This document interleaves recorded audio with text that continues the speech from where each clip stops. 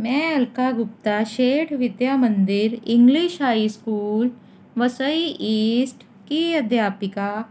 आज आपको हिंदी व्याकरण का पाठ ग्यारह पर्यायवाची शब्द पढ़ाने जा रही हूँ। बच्चों, हम एक ही प्राणी या वस्तु को कई नामों से पुकार सकते हैं।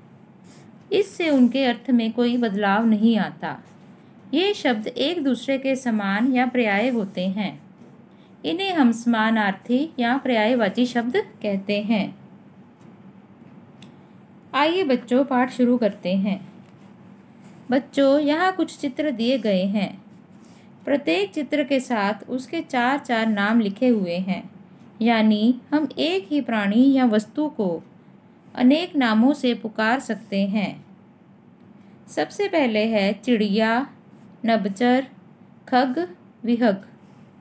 उसके बाद है घर सदन, आलय, भवन। फिर उसके बाद है सूर्य भानु दिवाकर, दिनकर। बच्चों, यह नाम अलग अलग हैं, परंतु उनका अर्थ एक ही है। समान अर्थ बताने वाले अलग अलग शब्दों को ही हम पर्यायवाची या समानार्थी शब्द कहते हैं। समान अर्थ बताने वाले अलग अलग शब्द पर्यायवाची शब्द कहलाते हैं। कुछ पर्यायवाची शब्द।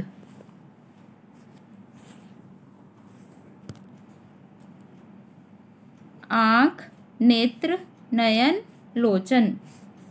आग, अनल, अग्नि, पावक। इच्छा, कामना चाह अभिलाषा। कपड़ा, वस्त्र, चीर, पट। चंद्रमा, राकेश, शशि, चाँद।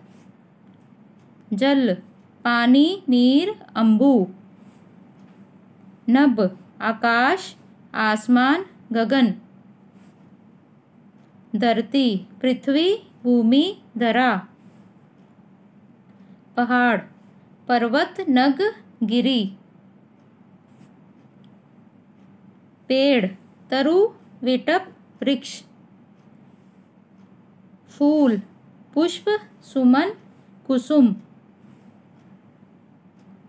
बगीचा, उपवन, वाटिका, उद्यान। बेटा, सुत, पुत्र, लड़का। भगवान, ईश्वर, परमेश्वर, प्रभु।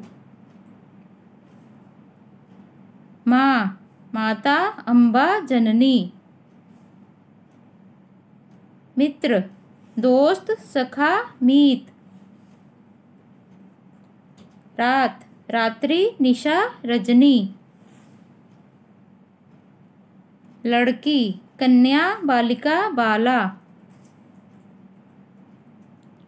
शेर, सिंह, वनराज, केसरी। वन, जंगल, विपिन, कानन। वायु, पवन, समीर, हवा। संसार, विश्व, जगत, दुनिया। समुद्र, सिंधु जलधि सागर। आइए बच्चों पाठ को एक बार दोहरा लेते हैं। एक ही संज्ञा शब्द को कई नामों से पुकारा जा सकता है। एक जैसा अर्थ या समान अर्थ बताने वाले भिन्न भिन्न शब्दों को समानार्थी अथवा पर्यायवाची शब्द कहते हैं। बच्चों, आज का हमारा ये पाठ समाप्त होता है। धन्यवाद।